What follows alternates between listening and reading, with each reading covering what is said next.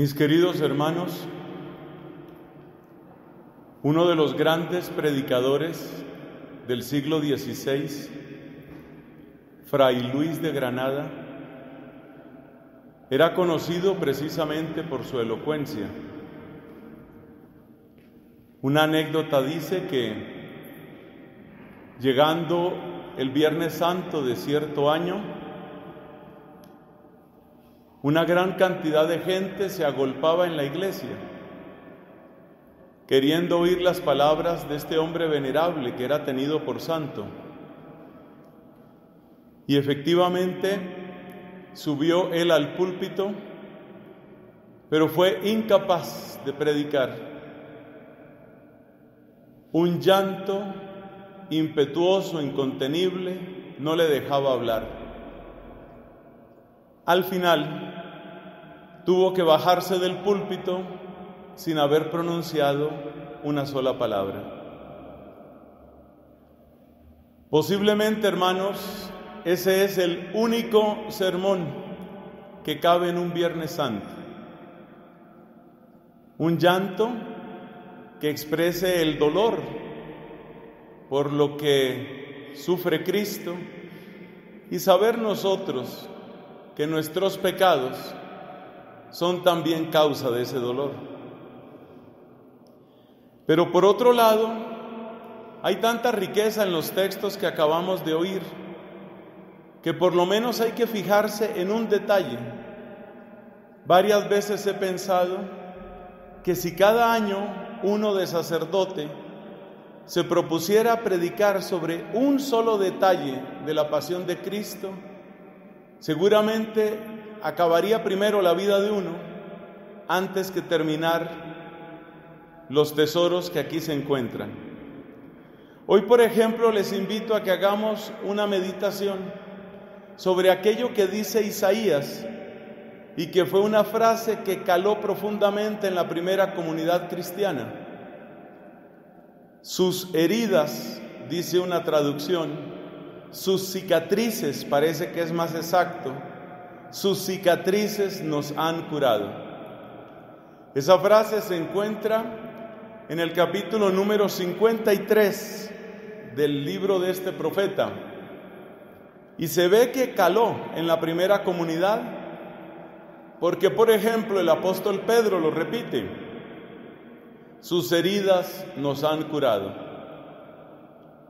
Y nosotros siguiendo el ejemplo de San Anselmo, que decía que la fe quiere entender, con humildad y respeto nos preguntamos, ¿cómo es eso de que las heridas pueden curar? O alternativamente, ¿cómo es eso de que las cicatrices de otra persona pueden ayudarme a sanar mis heridas? Apoyándonos en una visión antropológica de San Agustín, que es una verdadera estructura de pensamiento en Santa Catalina de Siena, podemos mirar nuestra memoria, nuestro entendimiento y nuestra voluntad como lugares de acción de esa curación, de esa sanación que trae Dios. Pero primero hay que decir algo, y es que las heridas empiezan a curar por aquello que nos han dicho varios papas, sobre todo su santidad Benedicto XVI, que la respuesta de Dios al sufrimiento es sufrir con nosotros. La sanación que Dios trae a nuestras heridas empieza por ahí. Empieza por el hecho de que Él nos acompaña en el dolor, lo cual no es poca cosa.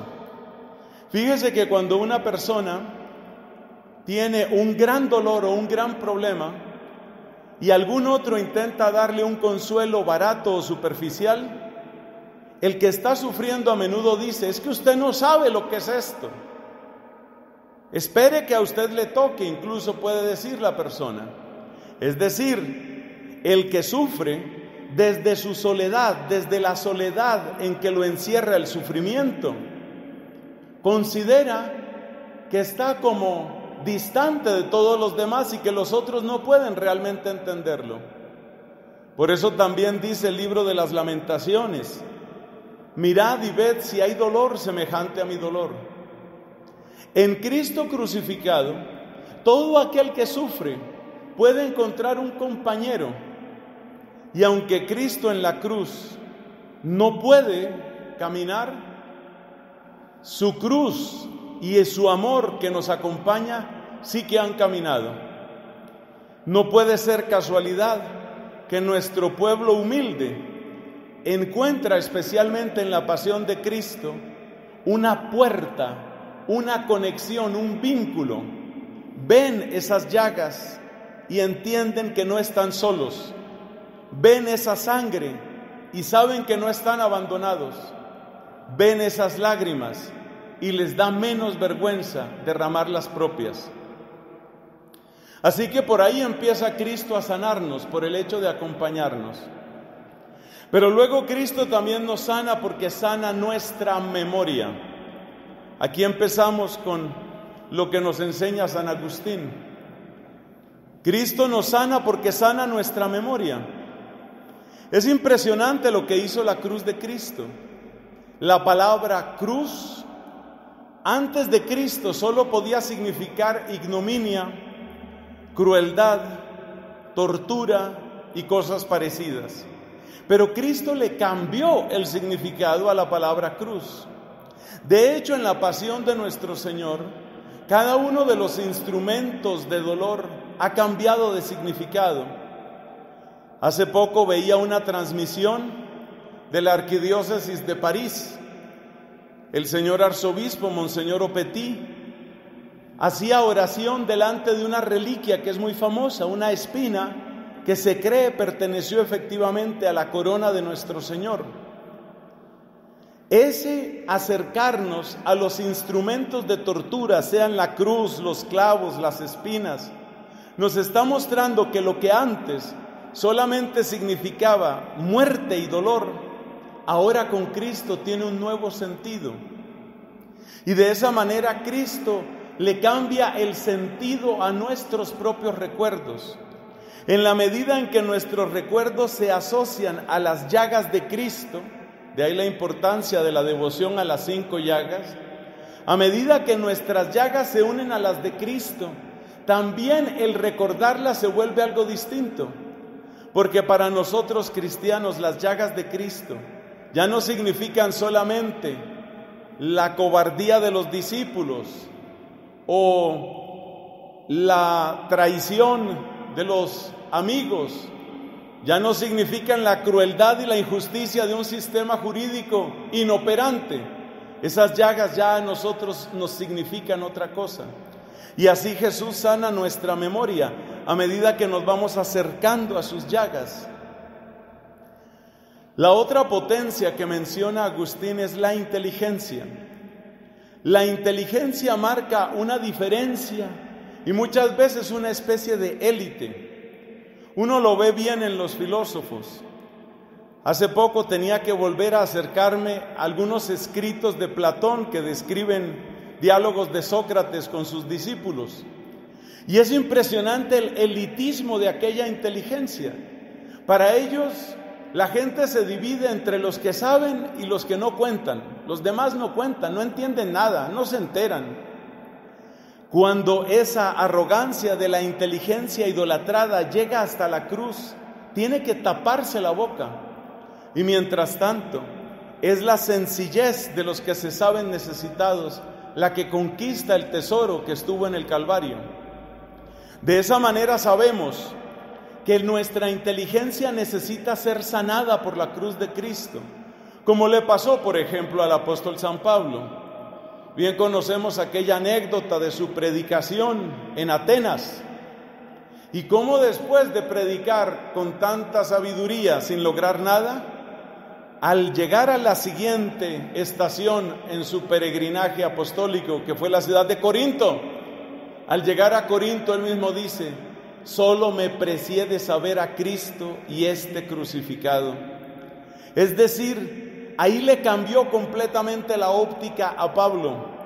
Y por eso también nos dejó esas páginas preciosas de los capítulos primero y segundo de la primera carta a los Corintios, donde habla de la gran diferencia entre la sabiduría humana, que muchas veces se convierte en pura astucia y pretexto para egoísmo, y la sabiduría divina que trae salvación.